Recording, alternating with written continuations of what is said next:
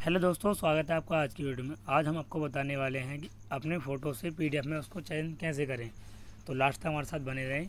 सबसे पहले आपको क्या करना है, आपको जाना है गूगल पर। गूगल पर जाने के बाद आपको वहाँ पर लिखना है, फ़ोटो टू पीडीएफ कन्वर्टर।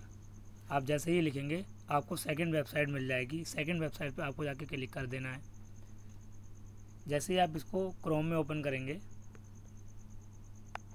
आपके सामने एक इंटरफेस आ जाएगा। सेम ये वाला। यहाँ पर लिख रहा है चूज़ फ़ाइल इसमें आपको जो फ़ोटो हैं, उसको चूज़ कर लेना है। तो आप इसको ओपन करेंगे। फ़ाइल में जाने के बाद आपको अपनी गैलरी में जाना है।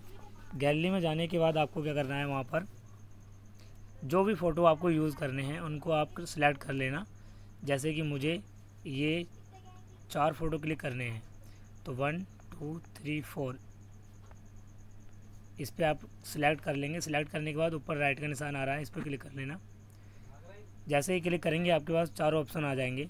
यदि आपको लगता है कि कोई फ़ोटो डिलीट हो जाना चाहिए तो उसके नीचे डिलीट का ऑप्शन आ रहा है फ़ोटो के नीचे। आप डिलीट कर सकते हैं। इसके बाद आपके सामने ऊपर लिख रहा है कन्वर्ट। कन्वर्ट पर आप लोग क्लिक करेंगे, जो ब्लू कलर का दिख रहा है आपको। जैसे ही आप यहाँ पे क्लिक करेंगे, आपका जो फ़ोटो है पीडीएफ में चेंज हो जाएगा। चेंज होने के बाद आपको क्या करना है, डाउनलोड कर लेना है। डाउनलोड जैसे ही आप करेंगे, ये आपकी गैलरी में या फिर पीडीएफ में खुल जाएगा। जैसे यहाँ पर देखो, मेरी पीडीएफ में खुल रहा है एम आई पी डी में खुल रहा है तो इसको आप ओपन कर लेंगे।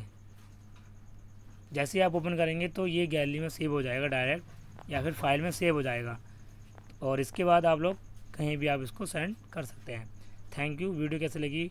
कमेंट करके ज़रूर बताएँ। किसी तरह की अगर कोई दिक्कत होती है तो कमेंट में बताएँ, हम आपके लिए एक वीडियो और बना देंगे।